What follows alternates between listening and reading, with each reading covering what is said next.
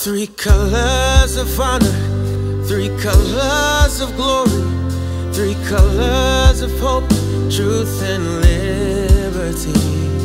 They're there to remind us what's worth fighting for.